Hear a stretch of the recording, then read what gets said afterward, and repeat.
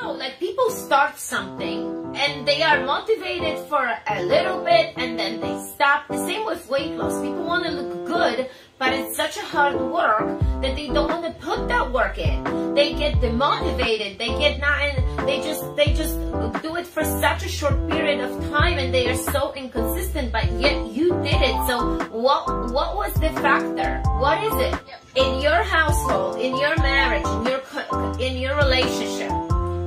Partner should be the one that it's connected somehow to your mission. It's good to do that because both of us, it's two brains. So make sure that you take care of your dreams. And how you do that? To sleeping in a good environment, right? To taking care of yourself.